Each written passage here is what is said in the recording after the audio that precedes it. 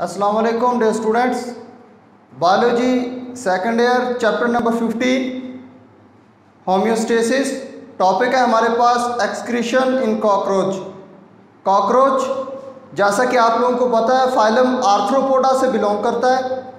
उसके बाद इसके अंदर जो एक्सक्रीटरी स्ट्रक्चर है, वो बिल्डअप हुआ हुआ है कि acute shortage of water supply को विद स्टैंड कर सके। काकरोच आमतौर पर पानी नहीं पीता, इसलिए इसके अंदर जो एक्सक्रीटरी स्ट्रक्चर्स और एक्सक्रीटरी प्रोडक्ट्स हैं, वो acute shortage of water habitat वाले होंगे। तो इनके अंदर अगर एक्सक्रीटरी वेस्ट की बात करें तो एक्सक्रीटरी वेस्ट इनके अंदर होगा यूरिक एसिड क्योंकि ये एक्यूट शॉर्टेज ऑफ़ वाटर को फेस कर रहे होते हैं। तो अमोनिया या यूरिया की फॉर्म में एक्सक्रीटरी प्रोडक्ट्स को ये एक्सक्रीट नहीं कर सकते। उसके बाद जो इनकी क्लास है क्लास है इंसेक्टा ट्रेस्ट्रियल जो आर्थ्रोपोड्स हैं, उनके ग्रुप में हम इनको डिस्कस करते हैं। तो आज के लेक्चर में हम काकरोच के अंदर जो एक्सक्रीशन है और एक्सक्रीटरी आर्गन है, उसके स्ट्रक्चर और उसके फ़ंक्शन को डिस्कस करेंगे। कुछ पैकुलर बिहेवियर होगा इनके अंदर। बाकी एनिमल से थोड़ा सा हट के इनके अंदर कुछ चीज़ें हम लोग डिस्कस करेंगे। तो वो चीज़ें क्या होंगी? इनके अंदर जो एक्सक्रीटरी स्ट्रक्चर है, जो हेल्प आउट कर रहे हैं एक्सक्रीटरी ऑर्गन्स इनको एलिमिनेट करने में वेस्ट प्रोडक्ट्स वो हैं Malpighian tubes Malpighian tubules are the excretory organs या excretory structures that are present in terrestrial arthropods और फालम इंसेक्टा में हम लोग इसको बेसिकली डिस्कस करते हैं। तो ये जो मालपीगियन ट्यूब्स हैं, ये एसोसिएटेड होती हैं डाइजेस्टिव ट्रैक के साथ। अब ये एक थोड़ा सा पैकुलर बिहेवियर है, इनका बाकी एनिमल से हटके कि बाकी जितने भी एनिमल के ग्रुप्स हैं, किसी में भी हम लोग जो एक्सक्रीटरी सिस्टम है, उसको इन एसोसिएशन विद जो डाइजेस्टिव सिस्टम है, उसके साथ हम लोग डिस्कस नहीं करते। डाइजेस्टिव सिस्टम अलग से वर्क कर रहा होता है, जिसमें जो इंजेस्टेड फ़ूड है, उसको डाइजेस्ट किया जाता है और डाइजेस्टिव वेस्ट को बॉडी से जो है वो एलिमिनेट किया जा रहा होता है। तो उसके लिए अलग ओपनिंग प्रेजेंट होती है और दूसरा सिस्टम जो ब्लड को फ़िल्टर कर रहा होता है उसको कहते हैं एक्सक्रीटरी सिस्टम वो अलग से फ़ंक्शन कर रहा है और वो अलग से क्या कर रहा है वेस्ट को एक्सक्रीटरी प्रोडक्ट या एक्सक्रीटरी या मेटाबॉलिक वेस्ट को बॉडी से एलिमिनेट कर रहा है और दोनों के लिए अलग अलग ओपनिंग प्रेजेंट है। लेकिन यहाँ पे हम लोग जब मालपीगियन ट्यूब्स का ज़िक्र करते हैं तो मालपीगियन ट्यूब्स का जो लिंक होता है, वो बेसिकली डाइजेस्टिव सिस्टम के साथ होता है।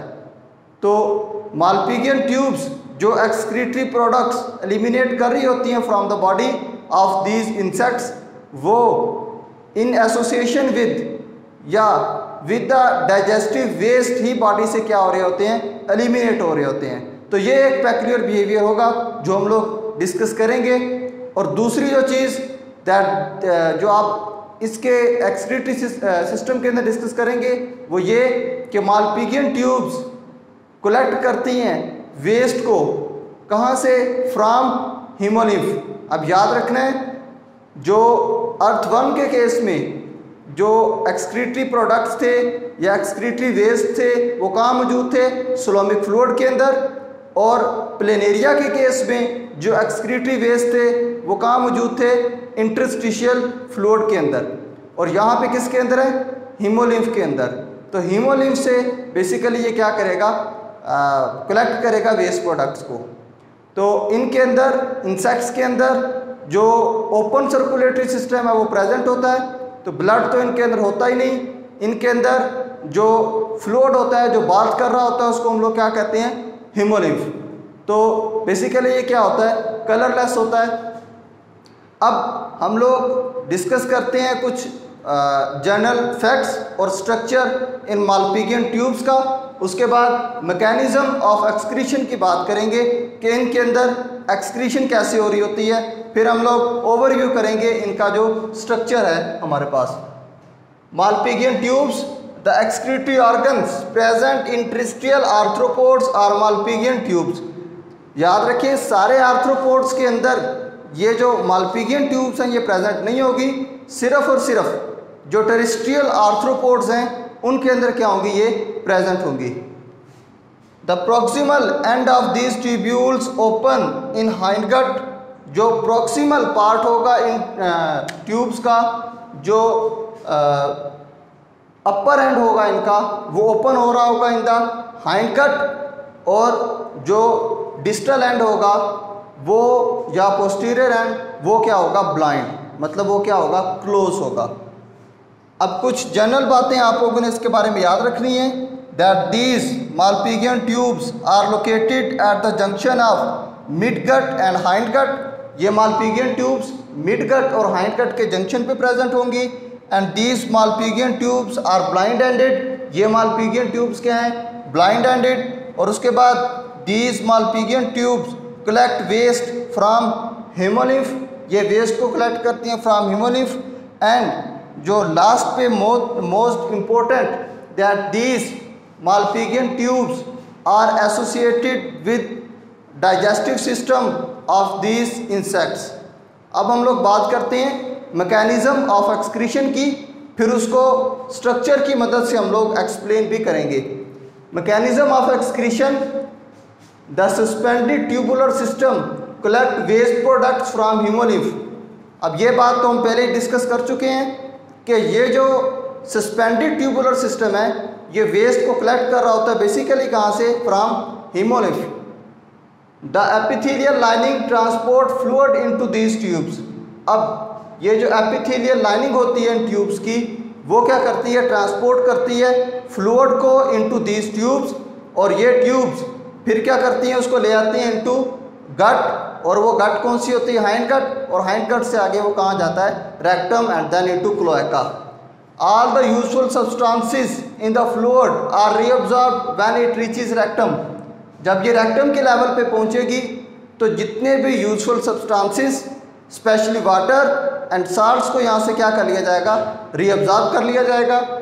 The excretory products are in the form of solid excreta उसके बाद ब्रैकेट में लिखा गया यूरिक एसिड क्योंकि इनकी जो हैबिटाट होती है, वो स्वेयर शॉर्टेज ऑफ़ वाटर वाली होती है तो इसलिए इनके अंदर जो एक्सक्रीटरी प्रोडक्ट बन रहा होता है, वो कौन सा होता है? यूरिक एसिड उसके बाद relationship between nutritive and excretory system ये हम लोग पहले भी डिस्कस कर चुके हैं कि इनका जो एक्सक्रीटरी सिस्टम है, वो in association with digestive system होगा, जबकि बाकी किसी भी ग्रुप ऑफ़ एनिमल्स या किसी भी एनिमल की क्लास के अंदर ये बिहेवियर देखने को नहीं मिलेगा। अब अगर हम लोग स्ट्रक्चर को एक्सप्लेन करना चाहें तो स्ट्रक्चर सेम एज जैसा कि आप लोग chapter number twelve part first year में डिस्कस कर चुके हैं कि डाइजेस्टिव सिस्टम जहाँ पे हम लोगों ने डिस्कस किया था तो वही स्ट्रक्चर है, क्योंकि डाइजेस्टिव सिस्टम के साथ ही तो हमने बात की है कि लिंक कर रहा होता है इनका एक्सक्रीटरी सिस्टम तो डाइजेस्टिव स्ट्रक्चर के साथ ही हम लोग क्या करेंगे? एक्सक्रीटरी सिस्टम की बात करेंगे। तो डाइजेस्टिव सिस्टम के साथ अगर डाइजेस्टिव सिस्टम को स्टार्ट से हम लोग पढ़ें तो हम लोग क्या कहते हैं? Oral cavity then oesophagus and then this swollen part is known as crop जहाँ पे फ़ूड को टेम्परेरली स्टोर किया जा रहा होता है। और क्रॉप के बाद जो नेक्स्ट पोर्शन है, वो क्या होगा?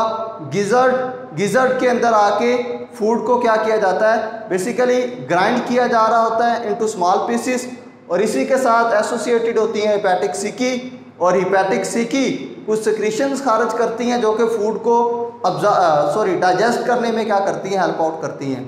देन फर्दर डाइजेशन प्रोसीड होती है इन द मिजेंटीरॉन पोर्शन और मिजेंटीरॉन के बाद small intestine and then large intestine और लार्ज इंटेस्टाइन के बाद रेक्टम, और रेक्टम के बाद क्लोएका क्लोएका के जो बाद, वो वेस्ट प्रोडक्ट्स हैं, वो कहाँ जाएँगे? Out of the body cloaca basically एक कंबाइंड ओपनिंग है, जो डाइजेस्टिव और एक्सक्रीटरी और रिप्रोडक्टिव वेस्ट जहाँ पे आके कलेक्टिवली जो एक्सक्रीट किए जा रहे होते हैं, उस ओपनिंग को हम लोग क्या कहते हैं? क्लोएकल ओपनिंग तो यहाँ पे जो चीज़ हम लोग स्टडी करना चाह रहे हैं वो क्या है? These tubules these are basically Malpighian tubes और इन मालपीगियन ट्यूब्स की अगर लोकेशन आप लोग यहाँ से चेक करें तो फॉरगट फॉरगट के बाद midgut and then hindgut इनकी जो लोकेशन है, वो at the junction of midgut and hindgut आप लोगों को नज़र आ रही है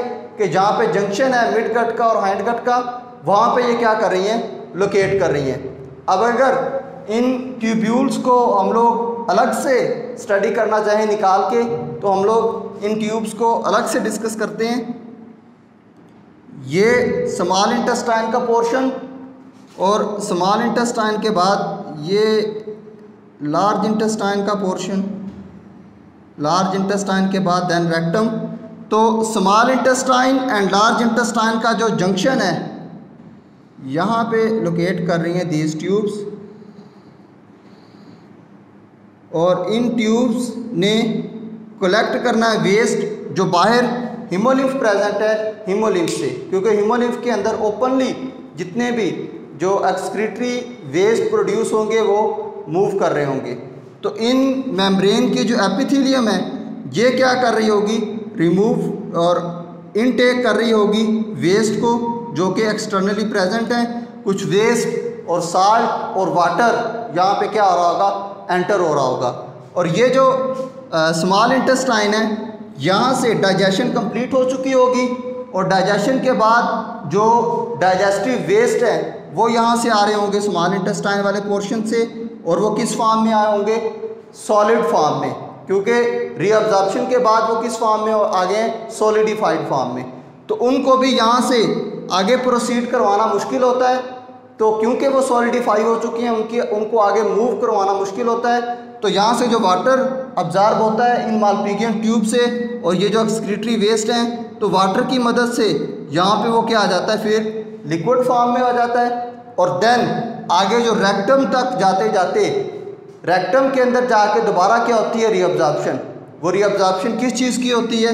वो रीअब्जॉर्प्शन होती है वाटर की वो रीअब्जॉर्प्शन होती है साल्ट्स की, और अगर यहाँ पे कोई useful product useful substances present है तो रेक्टम के अंदर जाके जस्ट जो चीज़ बच जाएगी वो क्या होगा? डाइजेस्टिव वेस्ट डाइजेस्टिव वेस्ट और उसके साथ एक्सक्रीटरी वेस्ट एक्सक्रीटरी वेस्ट दो चीज़ें यहाँ पे आके क्या कर जाएँगी? बच जाएँगी इस रेक्टम वाले पोर्शन में। और ये क्या होंगी? Solidified in the form of uric acid तो क्योंकि ये मैक्सिमम वाटर को रीअब्जॉर्ब कर, करवा सकते हैं in the last portion of the digestive tract, जिसको रेक्टम बोलते हैं। इसलिए ये जो इंसेक्ट्स का ग्रुप है, ये ज़्यादा एडवांस है ऑन द लैंड हैबिटाट और इनकी जो एग्जिस्टेंस है, जो सर्वाइवल है, वो ज़्यादा है as compared to other animals other group of animals तो ये थी कुछ general discussion related to excretion in cockroach and Malpighian tubes का रोल हम लोगों ने यहाँ पर डिस्कस किया। और कुछ पैकुलर बिहेवियर था जो दूसरे एनिमल के ग्रुप से हट कर था, वो हम लोगों ने डिस्कस किया। नेक्स्ट लेक्चर में इंशाल्लाह हम लोग एक्सक्रीशन इन वर्टिब्रेट्स और वर्टिब्रेट्स के अंदर ह्यूमन बीइंग की एग्जांपल हम लोग डिस्कस करेंगे। उम्मीद करता हूँ आपको इस लेक्चर की समझ आई होगी। स्टिल अगर आप लोगों को इसके अंदर कोई भी क्यूरी है तो आप लोग क्वेश्चन पूछ सकते हैं। Thank you